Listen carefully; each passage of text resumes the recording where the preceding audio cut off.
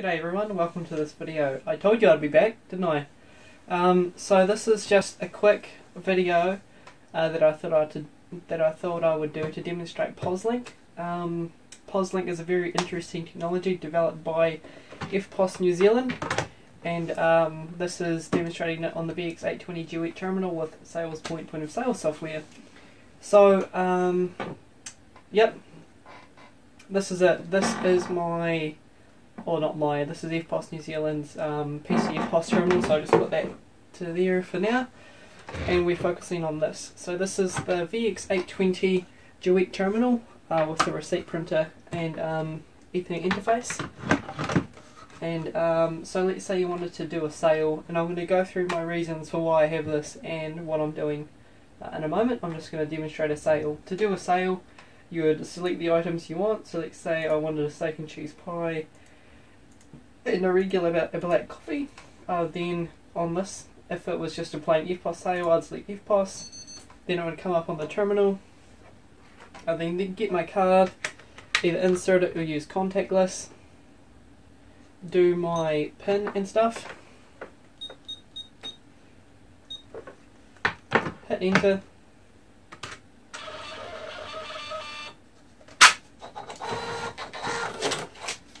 And then we have that there.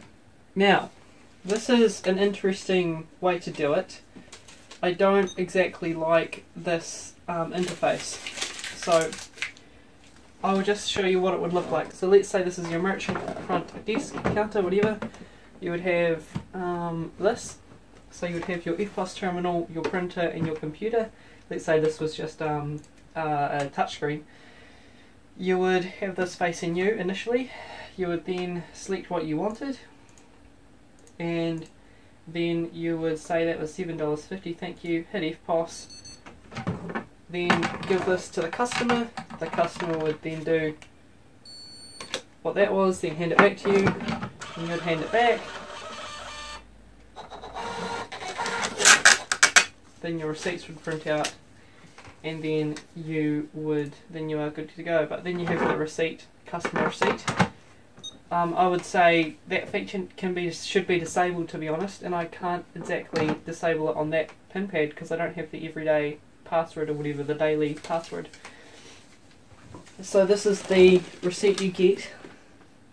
This is um, and this is the receipt from the terminal. Now what I would want, what I would in an ideal world, and I'm gonna tell you a thing in a minute.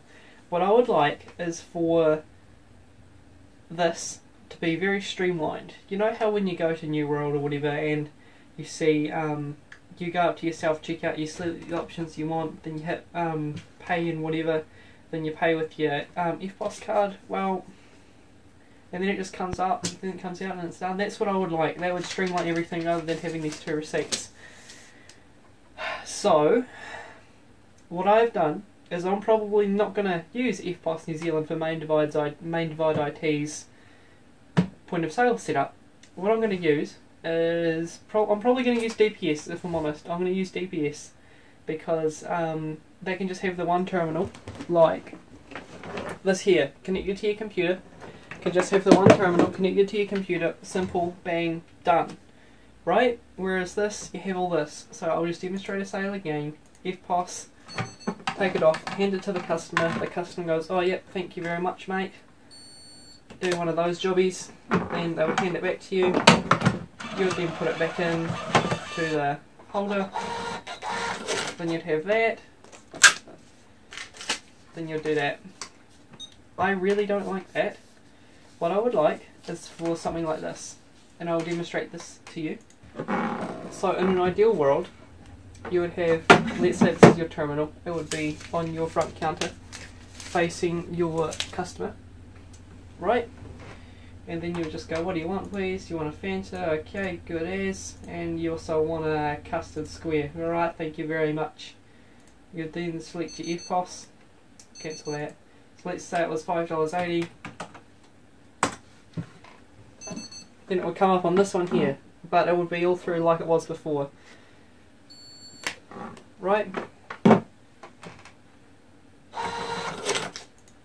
Let's just say it was there. then you'd have that. In an ideal world, that's how I'd like to have it, but at the moment, I just don't have that ability. With the 820 Duet, you have clutter. I just don't like clutter, and you'd really want the EFTPOS terminal facing the customer at all times. I would think, anyway. Um, but that's just what I would want. Tell me your opinion on what you think if you, so put yourself in the customer's perspective. Would you just want everything from here to here, not including the mouse and keyboard, so just from a clutter point of view, would you just want a screen, printer and terminal? Or would you just want, or would you want something like a screen, printer, terminal, base station thingy, that facing the merchant? I'll just do another quick one, so do that, EFTPOS. This down here. Then you would take it off, give it to your customer. Customer would do that. Customer would hand it back to you. And then put it back on the base station. That would all print.